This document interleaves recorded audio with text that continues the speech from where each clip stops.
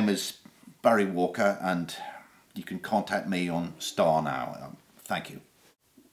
What is she talking about, Matthew? None of your business, you scumbag. Well, it's going to be everyone's business if it's going to save lives. Well, how do you know? You don't know what I've done.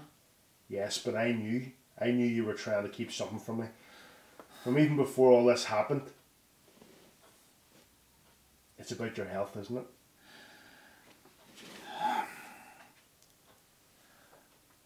A year after my wife passed away, I felt I felt something crumble inside me. All my organs were just sinking into my body.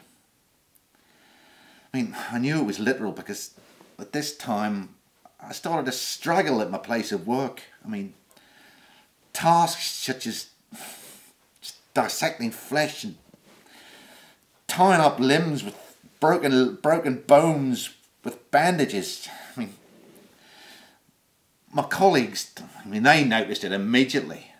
I mean, they suggested that I speak to one of the other, doctors about it, which I did.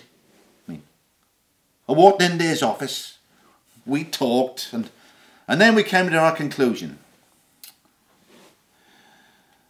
The doctor had diagnosed me with major depressive disorder.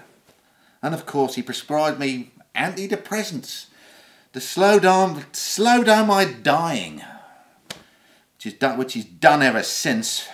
My name is Barry Walker, and you can contact me on StarNow. Thank you.